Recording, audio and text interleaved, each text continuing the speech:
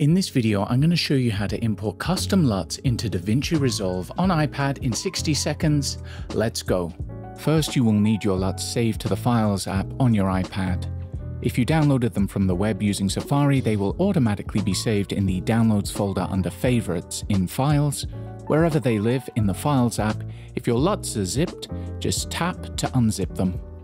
Then, whether it's an individual .cube LUT or a folder of LUTs like I have here, just long press and choose Copy.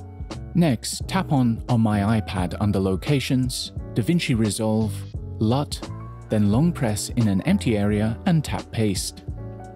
Launch DaVinci Resolve and tap on Settings. Select Color Management, then just tap on Update Lists and the import is complete.